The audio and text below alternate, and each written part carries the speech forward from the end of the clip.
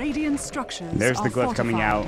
S4 is already up Radiant's uh, very close to the tier 3 attack. tower, but they can rotate and take the tier 3 top if necessary. They are already inside of the base. Baylor Axe is gone, Radiant's middle barracks and now one set of fallen. racks completed for Virtus Polar. Now they need to try to defend. That means he only ults eight Radiant's times on average. That's pretty attack. crazy. Think about how often uh, you play I Death mean- Prophet and think about how fast the game ends. Top I mean, that's- has well, not anymore actually. Game No, times no.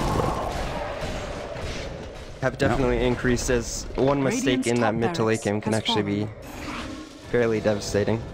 Well, I mean, Radiant's I mean, it- bottom tower is under they have the attack. damage Hex now. is very good at kiting the Slardar. Oh, KuroKy, is he going to get hexed up? Nope. Nets is out, and now they're going to jump with S4. BKB's going to get popped for pretty much every hero. Earth Splitter going in. It's going to hit on a KuroKy now. It doesn't really do much damage. Magic Missile FNG has borrowed time. It's the hero you're not trying to kill. Going to get shackled into Illidan, but Aphotic Shield goes.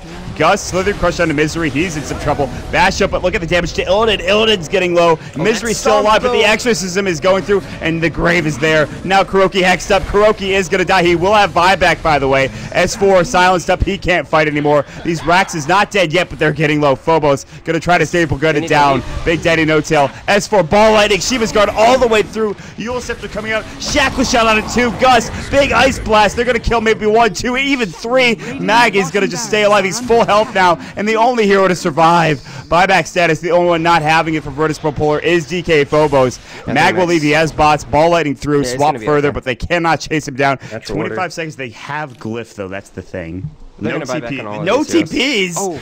No TPs. Oh, this no, is they have. TPs. They have under S4 with a TP. They have uh, Dire's uh, Puppey with No, a it's, TP. it's cooldown. S4's TP is cooldown. Literally. No, Puppey Mag, keep going.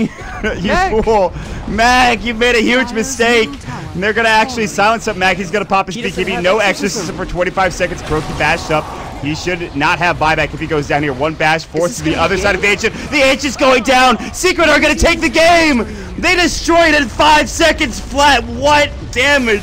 Oh my god, they put all the eggs into the damage basket. Unbelievable. We thought it wasn't going to work out. Are you kidding?